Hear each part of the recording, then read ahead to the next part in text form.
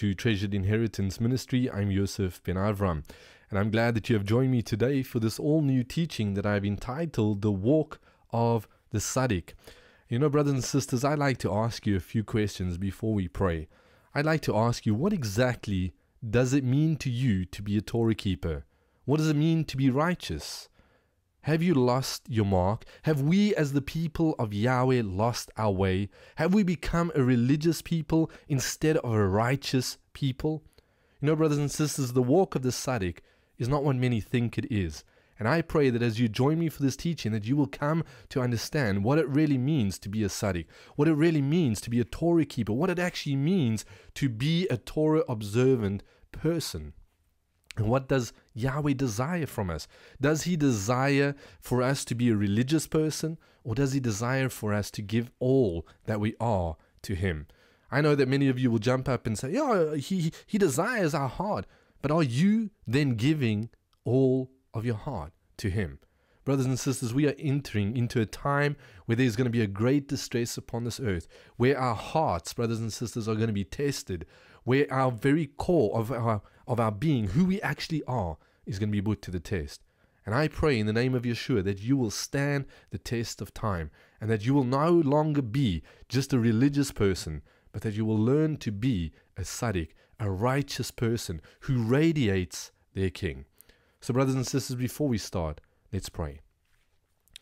Abba Father, we thank you today in the name of Yeshua that we can come together like this. Father, that we can get around your word. And Father, that we can come and, and hear what it is that you are wanting to say to us. And Father, I pray that each and every person that is tuned in, that has come to listen to this teaching, Father, that it won't just be words, Father, spoken, but that it will be words that penetrate into their heart by the power of your Ruach and Father that they will evaluate their lives that they will that they will look into their own hearts today Father and ask themselves the question why do I do what I do? What is the reason behind me doing what I'm doing? Am I doing it for selfish gain or am I doing it to bring glory and honor to my king? Father Yahweh, I pray in Yeshua's name, may your Ruach, Father, lead and guide every single thing that is said. And Father Yahweh, I pray a blessing over each and every person that has joined me. And I pray, Father, that they will grow up and mature and become, Father, the true radiance of your Son Yeshua upon this earth. So, Yahweh, we thank you for this time and we honor you. In Messiah Yeshua's name we pray. Amen. Now, brothers and sisters, if I had to ask you to evaluate your life, I know that many of you after this question you would jump up and say, No, but but I I, I see myself as as as this, not that. And the question I like to ask you is Would you consider yourself to be a wheat or a tare? Would you consider yourself to be a religious person or would you consider yourself to be a righteous person? And you know, so many people would jump up so quickly and say, Oh, but you know what? I consider myself to be a wheat and I, I, I'm doing all that I can to really be that wheat. Are you? Are you really doing all that you can today so that you can be the righteousness of Elohim upon this earth? You know, Yeshua spoke clearly in this specific parable that both the wheat and the tares were to remain and grow up together, as we heard in the previous teaching, but that there would come a time when he would send out his messengers to gather the darnel and to bind them into bundles to be burned in the fire, whereas the wheat would be gathered into the barn. And you know, every time that I look at, at wheat and tares, I, I come to realize something. A weed, which is a tare, it stays up straight, whereas the wheat, when it matures, it bends down. Brothers and sisters, isn't that what Yeshua said? He said, Humble yourself in the sight of Yahweh, and I shall lift you up. Those that are mature, they humble themselves in the presence of the King. They don't walk around with arrogance, as so many believers are doing today. You know, in the last teaching, we came to see that there's going to be a great apostasy from the true faith in the days before Messiah Yeshua's return. Why? Because man will turn from the one true Elohim, just as was spoken throughout the prophets and was spoken throughout the, the, the, the writers of the New Testament. They continually said that these things would happen. And you know, I sat thinking about this and praying, and as I did, the Father began to speak to me about the condition of his body. You know, some believers are happy, as I've said over and over, to just be saved, and they have absolutely no desire for a deeper relationship with Abba Father. And it's to you that I feel, brothers and sisters, that this message is directed from the hand of Abba Father and from his very mouth to your heart. The body of Messiah, the body of Messiah Yeshua is sick. They are sick to the point of death and decay. Do not be fooled, brethren, in thinking that things are fine when in reality they actually are not. We need to get the clear perspective and we need to see through the eyes of Messiah Yeshua. We need to have discernment and not be pushed around by every wind of doctrine. As many of you know, I've been teaching on the end time remnant of Yeshua for some time. And for some, this message has struck a chord of hope within you, and it has awakened a deep passion for His will in your life. And it's to you that the words have become words, I believe, of hope as you have taken the message to the foot of Yeshua's throne. And I believe that you have not only just taken it, but you have taken it and begun to question these things by Him. Yet for others, there is absolutely no change. You have heard, but you do not listen. And you are those that Yeshua spoke of when he said throughout the New Testament and in the book of Revelation, he says, He who has ears, let him hear what the Spirit is saying. To you, you do not hear at all because you become stubborn and stiff necked. You know, over and over, Yeshua has been warning and he's been speaking to his body and he's been saying that we need to make teshuvah, that we need to repent and that we need to return to him with all of our hearts, not just our intellectual brains, but with all of our hearts and all of our minds. And Yeshua continually has warned of double mindedness, people who sit on the fence, those who are not hot nor cold. They continue to set their sights on idols of self. And he continues to call and he continues to, to, to resound the gong. And he continues to say that we need to be people who change our hearts and our minds. And that we need to make teshuvah of all the things that has separated us from him.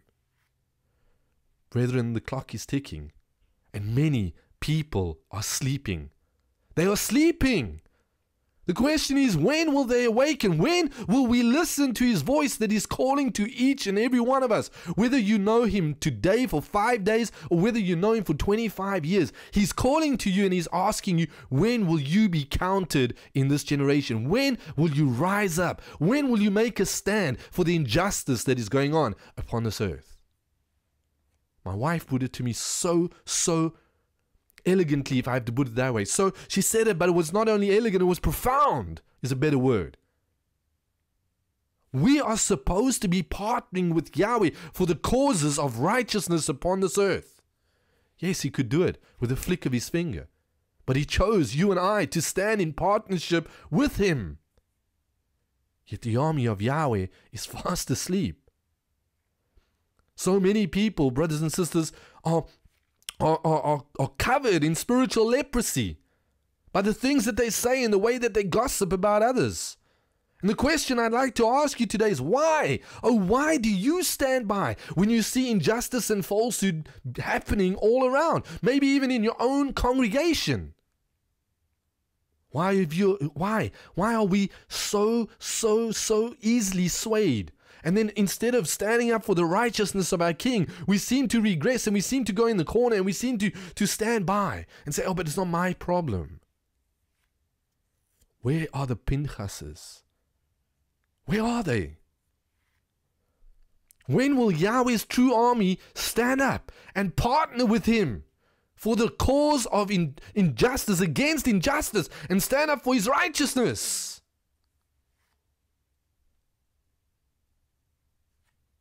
Brothers and sisters, I've been saying it over and over and over. I said it and I'm going to continue saying it. The message of Elijah is here. Elijah stood up for what was right in a generation of decay. He partnered with Yahweh and he spoke what needed to be said. That message of Elijah is here and it's going to sound continually until the day of Yeshua's return. Why? Because Yahweh loves us and he wants us to change our ways. We need to understand this. That the message of Elijah is going to be directed to the house of Israel first. As it says, brothers and sisters, in Peter chapter 4, verse 7, it says the following. In I believe it's in 1 Peter chapter 4, verse 17. I might be incorrect, but check me on it. It says the following Because it is time for judgment to begin from the house of Elohim, and if firstly from us. Can you imagine this? If first with those who profess to be wheat, to be righteous, to be holy, to be pure, to be walking in his ways. Then what is the end of those who do not obey the good news of Elohim? If it begins with us first, how is it ever going to be possible for the rest? Brothers and sisters, we need to understand something. That that very scripture that I just read to you, brothers and sisters, was not only for those days of Peter. It is now alive and it is being executed in our very day. Why? Because there's a great calling out happening. And it's happening to those who have ears to hear. They have heard the call of Yeshua. They are no longer standing by saying, hey, you know what? It's not my problem. They're saying it is our problem. And we need to get busy with Yahweh's work. Like I said, I've been preaching this message to those who will hear. Maybe you're one of those that have listened and you, you want to get busy. It's now the time. But yet on the other side of that coin, I see others that are so fast asleep and what they that what they say with their mouths and what they keep on doing, it doesn't line up with Yahweh's word. It's kind of they have this attitude of, oh, tomorrow I'll repent. Tomorrow I'll make right. Oh, I'll just wait for the festivals so that I can get my life in order. There is no more time to live like that. These people think that they have all the time in the world. The problem, the problem is not time, brethren. The problem is your heart. These kind of people cannot change. Why? Because they are stubborn and stiff necked, just like those in the days of Israel's history when Elijah had to rise up, where Yahweh raised, raised him up. Why? To be a mouthpiece against the people that were stubborn and stiff necked. There are so many people today, brothers and sisters. They are stubborn and stiff necked. They are caught up in the knowledge and the practice of Torah. They are so caught up in the practice and the knowledge of Torah, but they've forgotten their first love. They've forgotten the fire of Messiah Yeshua. The day that they got saved, they encountered that and they've drifted so far away from it that it's almost foreign to them. Yeshua says that such people have become rich on their religion Yet they are poor and empty. Why? Because they absolutely have nothing to offer from their own spiritual life that has been found in Messiah Yeshua. All they can offer is knowledge. But they cannot they cannot offer the power of Messiah Yeshua that brings change in people's lives. Revelation chapter 3 verse 14 speaks about such people. It says, And to the messenger of the assembly of Laodicea write, the Amen, the trustworthy and the true witness, the beginning of all of the creation of Elohim says this. Now he says it. He says, I know your works. I know that you are neither hot nor cold. You're slipping around. You cannot make up your mind whether you want to be for the enemy or whether you want to be for Yahweh. You're sitting on the fence. Then he goes and he says, I would that you were cold or hot. So because you're lukewarm and neither cold nor hot, I'm going to vomit you out of my mouth. And I've said this before. In order for Yahweh or in order for Yeshua to vomit something out of his mouth, that means that they had to be in him first. They were part of his body. These people believed, but they become useless. They are neither cold nor hot. They've absolutely become good for nothing because they cannot make up their minds on what they need to do and how they need to serve the Father. The problem is in their hearts. And the problem is they have become boastful and filled with pride. So he says, I'm going to vomit you out of my mouth. Why? Because you say, Rich I am. Haven't you heard this before? And I am made rich. Why? I am made rich by my knowledge and I need none at all. I don't need anybody to tell me. I don't need anybody to correct me. I don't need a word of prophecy. I don't need a word of correction. I don't need these things. All I need is my knowledge because I have it all. But Yeshua says to them, He says that you, such people, do not know that they are actually wretched and pitiable and poor and blind. They have no spiritual discernment. To be blind means you cannot see the things of Yeshua. Yet he continues and he says they're naked. We are supposed to be clothed with the righteousness of Elohim, the righteous garments of truth. These people don't even have those garments on, yet they walk around as if they do. Then he goes on and he says, I advise you, him, not me. Yeshua himself says this. He says, I advise you to buy gold from me, gold that has been refined in the fire. Who is the one that refines the gold? It is Yeshua himself. Then he goes on and he says, so that you become rich. And white garments, garments of righteousness, is what we are supposed to buy from him. So that we become dressed so that the shame of your nakedness might not be shown. And anoint your eyes with ointment so that you see. Get some spiritual discernment through my Ruach. And then he goes on and he says, As many as I love, I reprove and discipline. Now, some people will listen to this message and it will be too hectic for them. Why? Because they won't see the love of Messiah that he needs to reprove us. Because we are supposed to be his children. Brothers and sisters, I've told you and I've said it over and over that many people are only believers. They lack the qualities to be a true disciple. They are not willing to count the cost to be a true disciple. These people, brothers and sisters, are still worldly and fleshly.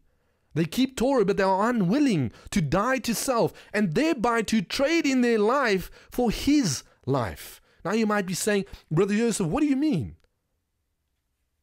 You see, if you take a look at this passage that we just read, it says that we are to buy gold from Him. The gold that has been refined in the fire that only He has. Yeshua Himself says, Buy this gold from me. You see, brothers and sisters, you cannot expect to buy this kind of gold with things of this world. It's only when we trade in our wills, our wills, our stubborn wills, our lives, for His. That's when we get a spiritual inheritance. That's when we get the currency that we need to buy this gold of everlasting life, this gold that will always remain. And we buy it from Yeshua. This then begs the question, and I'd like to ask the question to each and every one of you today why do you keep Torah? Don't look at me. Don't look at your husband, your, your daughter, your brother, your family members. Look at yourself and ask yourself the question why do I keep Torah? You know, many people today say with a proud attitude that they keep Torah. And truth is that to keep Torah according to Yahweh is really nothing at all like many today would have you think it is. You see, brothers and sisters, when we look at scripture from Genesis all the way through, we come to see that the true Torah is our walk of faith. The true Torah lifestyle is a walk of faith. That then begs the question what then is true faith? Brothers and sisters, I believe that true faith is taking Yahweh at His word, taking Yahweh at His word, applying His word to our lives on a continual basis, living it out through faith. You know, the scriptures say that the true Torah is for us a mirror. And you know, if you've ever seen a goldsmith, then you'll know that there is a great process that has to take place before the gold is ready to be made into a solid bar for export. It's from out of the ore that comes great impurity, impurities called dross. And you know, the process to, to remove the dross is a long process. It's a process involving tremendous heat. And you know, brothers and sisters, the difference with gold and us as humans is that when the heat is applied to you and I, we tend to jump out of the pan. We get out and we don't want to go further in the refinement process. Why? Because it's burning. Many people will ask the question, but why? Why does this have to happen? It has to happen. Why? Because our Father wants to purify us in this very life that we live. Why? So that we might become more like His Son and become the righteousness of Elohim upon this earth. Partnering with our King. Doing the Great Commission. Praying for the sick speaking words of encouragement into our brothers and sisters' lives, building up the body of Messiah Yeshua until they all come to the perfection of the saints, spiritually mature, so that the army of Yahweh can stand. You know, when you continue to look at this whole scenario of the gold being refined, what actually happens is the goldsmith heats the gold till it becomes a liquid and as heat is applied, the impurities rise to the top, to the surface. And you know, many of us go through the first fire. But as soon as the first layer of impurities have come to the top, that's when we think we're done. But truth is that this is a process. And it's a process that is supposed to happen much more than just once. The goldsmith heats the gold till all the impurities have been removed and eventually, what happens is that he can see his own image, his reflection in the liquid. Yeshua wants to see his reflection in you. That's what he wants. And this is the purpose of Torah. It is for us a mirror, a mirror reflecting who we are now as people who have been redeemed and made anew by the finished work of Messiah.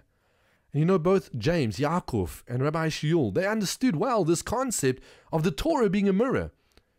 In James chapter 1, verse 22, it says the following It says, But be doers of the word. That is what we're supposed to be doing, doers of the word and not hearers only. Because if we are only going to be hearers, we are deceiving ourselves. So many people today are continuing to year to year to year, but they are not becoming doers of Yahweh's word, going out into a world that is so filled with so much injustice and praying that they can be a light.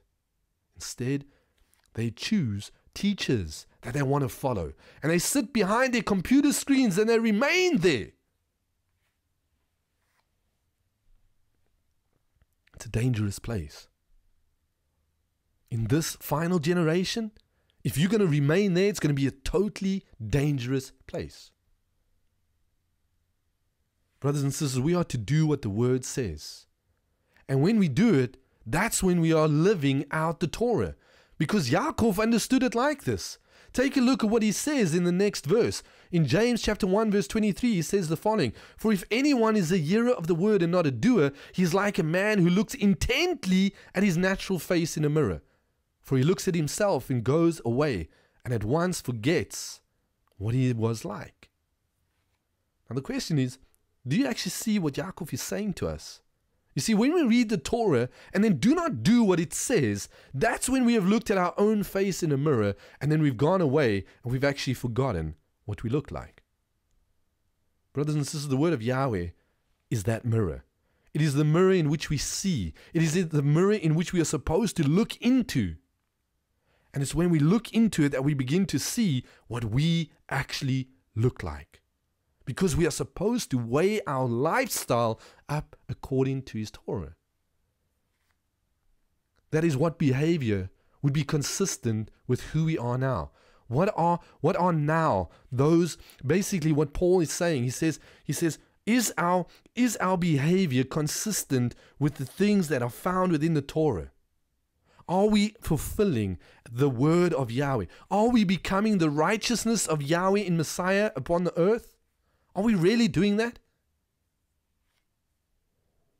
Brothers and sisters, we need to remember something. Yahweh doesn't want robots. And He's not interested in how well you can keep all the commandments.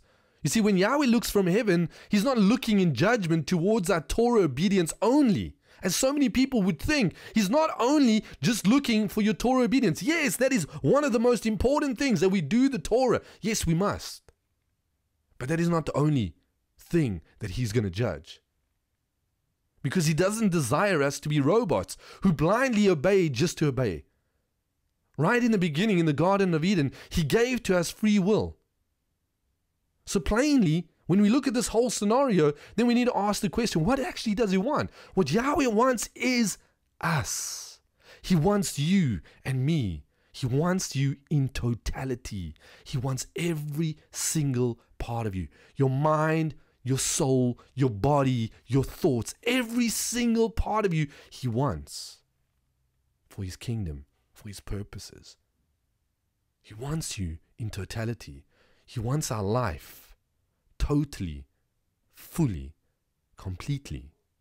Yahweh wants your heart, your soul, and your devotion.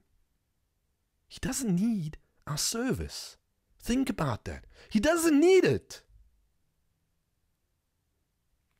He is Elohim. He doesn't need our service, but He desires our devotion. He desires our hearts. He desires you. Likewise, He doesn't get a thrill from our obedience when it doesn't come from our hearts. When we are obeying Torah from the heart and we have fully committed all we do to Abba Father from our hearts, then that's when we are able to walk by faith and not by sight. We need to understand that to live out the true Torah can only be done by faith and rest in that complete work of Messiah Yeshua. It isn't the actions that we do and what we do concerning or, or, or, in our lives that kind of earn us points in heaven. That's not what happens. It is our heart condition that is most important to our King.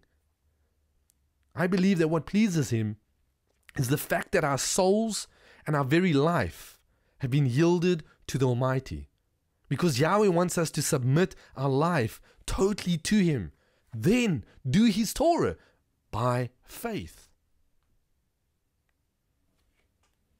You see, brothers and sisters, that is the essential difference between obeying and submitting. You see, from our love of Yahweh should come our submission to His mitzvot, should come our, our, our desire to want to do His commandments. Furthermore, we need to understand that the commandments are a means to an end and not the end itself. And I'll explain that as we go on. You see, we have perverted the true Torah, and Paul summarizes it perfectly in Romans chapter 10 by showing how man has changed Yahweh's Torah into a system of works by which he believes he can now establish his own righteousness. Let me say that again. We have perverted the true Torah, and Rabbi Shaul summarizes it perfectly in Romans chapter 10 by showing how man has changed Yahweh's Torah into a system of works by which man believes he can establish his own righteousness. You see, the fact of the matter remains that it's not enough to just follow Torah. We are to submit to Yeshua and allow Him, by His Ruach, to transform us from the inside out. He wants to allow His reflection, brothers and sisters, to shine out of your life. And you know, once again, James, Yaakov, he understood this because he wrote the following in James chapter 4, verse 7. And so many people have misunderstood what he said. He said, Submit yourselves therefore to Yahweh. We need to first submit to Yahweh, then resist the enemy. So many people are sub- trying to resist the enemy, but they are not submitting themselves to Yahweh. And the enemy is running circles around them. Submit yourselves therefore to Yahweh. Resist the devil, and he will flee from you. Then he says, Draw near to Yahweh, and he will draw near to you. Cleanse your hands, you sinners, and purify your hearts, you double minded. Isn't that exactly what it said in Revelation? Because you're neither hot nor cold? That's the same as being double minded. You see, when we are submitted, that's when we do what is required, and that's when we recognize and do what Yahweh desires, and we do it by faith. You know, brothers and sisters, we know that scripture tells us over and over that one of the reasons for Messiah's coming was to bring Israel back to the heart of the Torah. And you know, it's one thing not to physically commit a sin, while it's another to walk in purity. The difference is the condition of the heart. It is, it is the heart, brothers and sisters, that causes us to walk in purity. if we don't guard our hearts, we'll soon begin to doubt our actions and become trapped by doing only what is required of us. I'll only do as much as what is needed instead of going the extra mile. And again, I'm going to say it. Yahweh doesn't just want your actions, He wants your entire life. He wants all of you. And the scriptures have an answer for those who would question what is required of them as a believer in this kingdom of their king. And it's found in Devarim, Deuteronomy chapter 10 and verse 12. And it says the following It says, Israel, what does Yahweh your Elohim require of you? But to fear Yahweh your Elohim, to walk in all his ways. Then it says, and to love him, and to serve Yahweh your Elohim with all your heart, and with all your soul. Now, I, would like us to notice that walking in his way and observing the commandments, as well as loving Yahweh with all of your heart, they are equal in this passage. They are not one above the other. So, what is he actually saying? What he's saying is that what Yahweh requires is that he requires all that we are, every single part of us. In the book of Micah, chapter 6 and verse 8, we read another passage that says, What does Yahweh require of you? But to do justly, to do righteousness, to do justly, and to love mercy, and to walk humbly. Like I said in the beginning, like the wheat that bows down in the presence of the king, so we are supposed to be humble in his sight and to walk humbly, not arrogant, humbly with our Elohim. Humbly with our Elohim. You see, brothers and sisters, if our heart's condition is right before Yahweh, it is as if we are obeying all of the commandments. Why? Because we will be obeying His voice and we will be doing what He tells us to do. I believe that when our heart is right, that we will automatically desire to keep all of these commandments. And it won't be a burden for us at all, but we will be doing it from the right attitude. Another passage of scripture that really speaks to us is found in Matthew chapter 22, 38 to 40. It says, You shall love Yahweh your Elohim with all your heart and with all your soul and with all your mind. This is the first and the greatest commandment, and the second is like it. You shall love your neighbor as yourself. On these two commandments hinges, hangs all of the Torah and the prophets. Brothers and sisters, it hinges. All of Yahweh's Torah hinges on those two commandments. Without them, without doing those, the rest will all fall apart. And in actual fact, this verse is actually corresponding with the previous passage that I read to you in Micah. Brothers and sisters, so many of you might, might, might, might question this next statement, but hear me out. We need to understand that the keeping of Torah is not the goal of our walk with Messiah. And you know, many today have left the church and have become Torah observant, yet they have forgotten that the Torah is a marker, it's a signpost to the goal, which is Messiah Yeshua. You know, my wife put it to me in a great way the other day. She said that Rabbi Shaul speaks and, and he spoke about the body. And we need to think of Yeshua as that complete body. And above two commandments would be the heart. Without the heart, everything else will fail.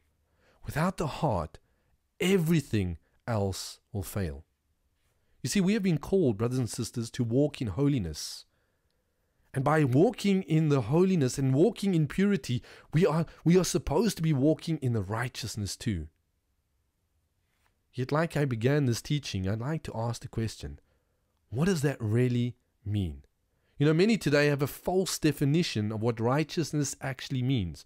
And because of this wrong definition, they seek the works, the works of Torah. They seek the works to justify the way they live. Brothers and sisters, I'd like to ask you a question What is righteousness? What does it mean to be righteous? How is righteousness fulfilled then in you and I? You know, whenever this type of question is posed to people, most people give an automatic response, and most people will say, Oh, but to be righteous means to be in right standing with Yahweh. But then the question posed, what does it mean then to be in right standing? And many people look with a puzzled face because they don't really understand what it means to be righteous.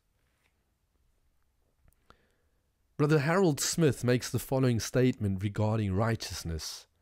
And he says this The righteousness spoken of in Scripture originates from the Hebrew word, as many of us know, tzedakah, which is derived from Isaiah chapter 33, 14 to 16.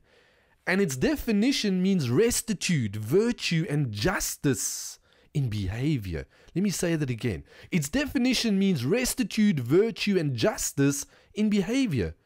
In the Greek, righteousness is translated from the word, the Greek word, which actually means integrity, virtue, purity of life, rightness, correctness of thinking, feeling, and acting. The condition which is acceptable to Yahweh. That's what the Greek definition means. And we see in these definitions from both the Hebrew and the Greek that righteousness is actually synonymous with virtue. He put it another way and said it's the inherent power, the power residing in a thing by virtue of its nature. That's a powerful definition. The inherent power, power residing in a thing by virtue of its nature. And you know what I found very interesting, brothers and sisters, is that when we look at all of this, it's actually from this Greek word, dynamis, which is that Greek word where we where we get the, the virtue from. It is from this Greek word dynamis, or, or, or pardon me, dikaisoni, dikosoni, where, where the word dynamis is derived. And the English word dynamic comes from that Greek word, as well as dynamo. Now, in several places in Scripture, we read and we see the following that it was within Messiah Yeshua that, that, that power flowed out of him. It was the power of the Ruach that, that so many times we see that it was a dynamic power. Was the power of the Ruach in his life that, that healed and, and delivered people from bondage. And this power that was within him, it was accredited to him through his virtue, through his character, through the pure life that he lived. Mark chapter 5, verse 30, as well as Luke chapter 6, verse 19, tell us that.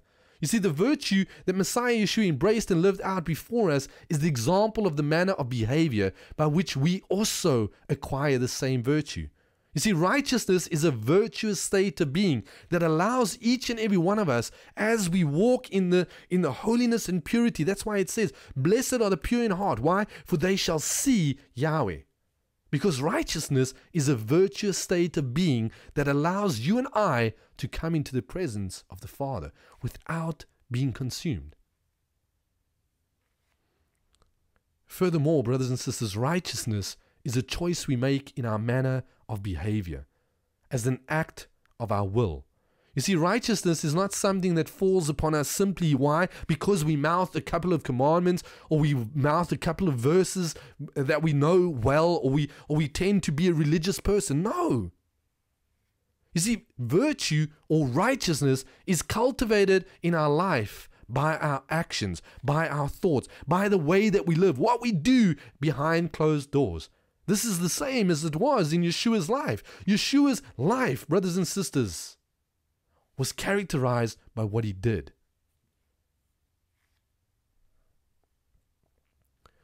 You know, what Yeshua did by his sacrifice was not to relieve us of any further action on our part, but to open the door of empowerment to us, through which we might be able to fulfill the righteous requirement of the law, the righteous requirement of the Torah, and thereby be able then to stand in the presence of Yahweh prior to which the weakness, brothers and sisters, the weakness of the flesh had prevented us from accomplishing.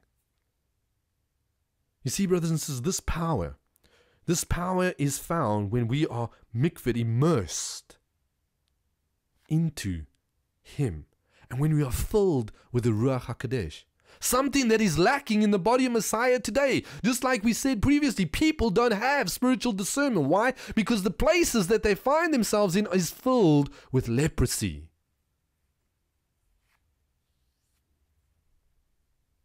You see, brothers and sisters, we need to understand something. The Greek word for power in John chapter 1 verse 12, if you go and read it, is exousia. We've spoken about this word before. It is actually the power of choice. We need to choose what is right. We need to choose what is good and pleasing and perfect. You see, just because the door is open, just because we have stepped in through through that salvation gate, that does not mean that what lies beyond as we have seen in the teaching of the tabernacle, that which lies beyond is automatically attained. No. You and I still need to make choices. We need to choose to walk through the door. We need to choose to embrace what is on the other side. We need to choose to embrace Messiah Yeshua with all our heart, mind, and soul. As I began this teaching, and as we saw in the scripture found in Revelation, where those people don't want to buy gold from Messiah Yeshua and they are not clothed in the garments, the pure garments. You see, the scriptures tell us over and over that we are to be clothed in righteousness, that we are to put on the righteousness of Elohim, that we are to put on the armor, we are to put on Messiah Yeshua. We must put it on. We must put on the righteousness that we are to be clothed in, and we must put it on like a garment. Ephesians 6 11 to 18, Isaiah 59 tells us this. We are to put it on as a garment and we are never to take it off. But so many people don't have those garments on. Why? Because they're double minded, as James says. I urge you to listen to the garments of war if you haven't already. Messiah Yeshua is saying to each and every one of us that we need to choose on a daily basis hourly basis. For some of you, it might even be minutes. You need to choose continually to walk in the ways of Abba. It's a daily, pardon me, a daily decision. You need to put on Messiah Yeshua. When we do this, brothers and sisters, we rise to the occasion and we begin to grow up into sons and daughters of righteousness. This has to be a lifestyle. And one, it's a lifestyle, brothers and sisters, that needs to be cultivated so that we may radiate the truth of our King and the righteousness of Elohim upon this earth. You see, we make a sacrifice of righteousness by doing something our fleshly desires would not ordinarily propel us to choose to do. That is why David continually said, If it doesn't cost me something, then I won't do it. Our worship shouldn't be something that, that, that, that we just do for 10 or 20 minutes a day. It should cost us something. It should be something that we, that we get down and we get gritty about. Brothers and sisters, we do not proclaim faith in the Messiah to become righteous. No, we exhibit the manner of the faith of the Messiah. That's what we're supposed to be doing. We are supposed to be revealing His character upon this earth. The faith of the Messiah was the same as the faith of Abraham. They both heard the voice of the Father speak, and they both exhibited their belief that he would accomplish what he said he would do with their subsequent actions of obedience by their behavior. You see, it was the faith demonstrated by their actions that was accounted to them as righteousness. I hope you're beginning to understand this message.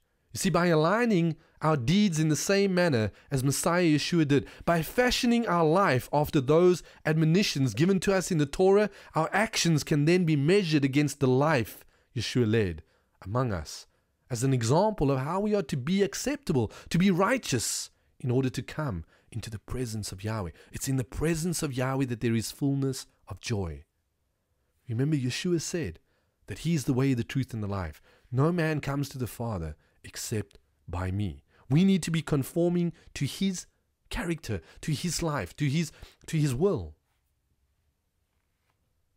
You know what's interesting is that there is no Hebrew or Greek word for right standing. To rightly stand in his presence means to come as become as he is. In other words, to become as light. To stand in His presence means to walk uprightly. We need to be walking uprightly in our thoughts, in our actions, in what we say. And uprightly comes from the Hebrew word tamim, a word that we have used so many times, which means to be complete, to be whole, entire, and sound, to be, to be complete, spiritually mature. And interestingly, out of the 91 times this word tamim appears in Scripture, it is translated as uprightly only eight times.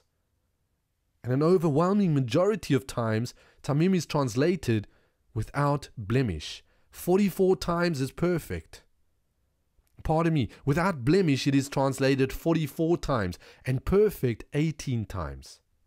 And of these 91 appearances, only once does it show up in the New Testament in Galatians chapter 2 verse 14. So when we speak of being in right standing with Yahweh, we know that the instruction, the description of what it means to walk uprightly before the Father is found where?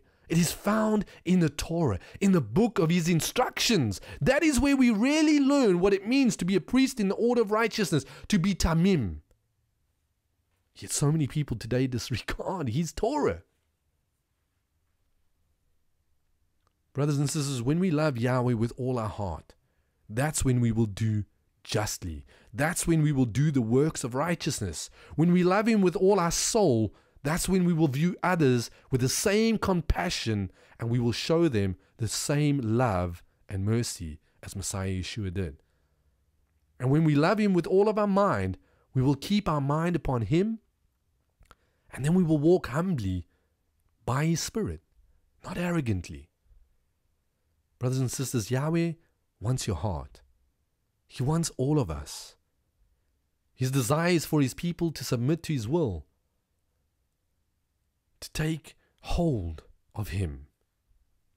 And you know, that will is only revealed in His Torah. To obey the Torah without giving our heart to Yahweh is great loss. To submit to the Almighty and seek to walk in obedience to the Torah is great gain.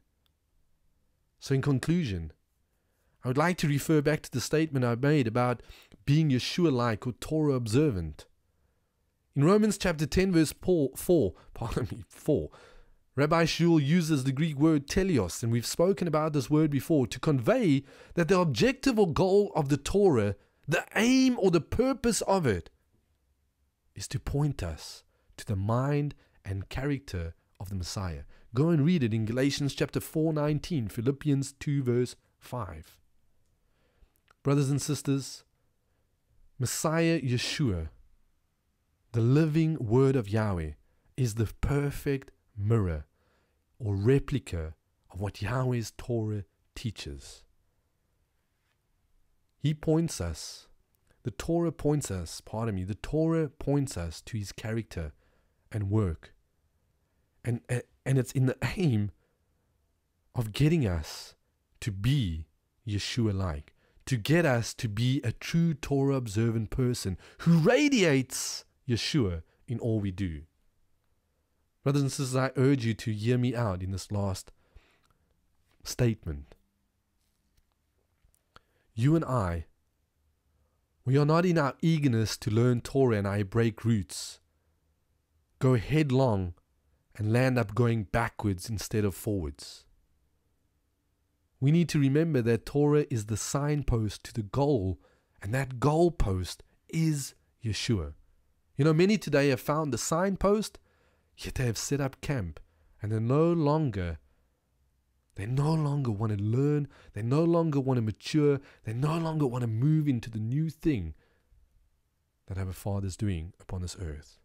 Faith, brothers and sisters, in Torah alone is dead. We need to wake up. We need to we need to search our hearts and ask ourselves, why do we do what we do? Are we living the life of a Tzadik? Are we walking this road so that the world out there might know whose we are? Are we are we children of the light? Are we children of the darkness? Are we ready to stand up for the righteousness of our King?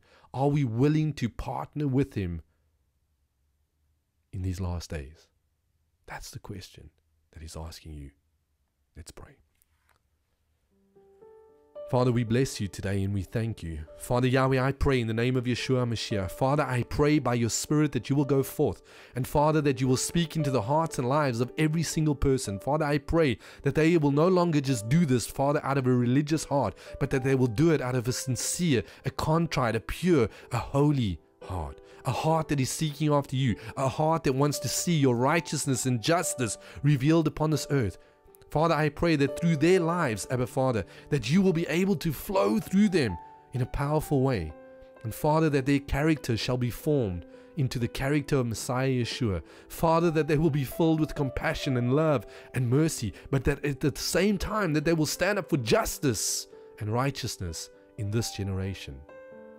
Father, we thank you and we bless you for this time together.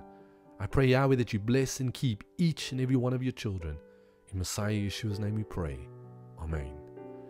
I want to thank you for joining me, and I pray in the name of Yeshua that you will consider subscribing to this channel. By subscribing, you help us to get these teachings out to more people, and we are so grateful for your help in helping us to get Yahweh's word out.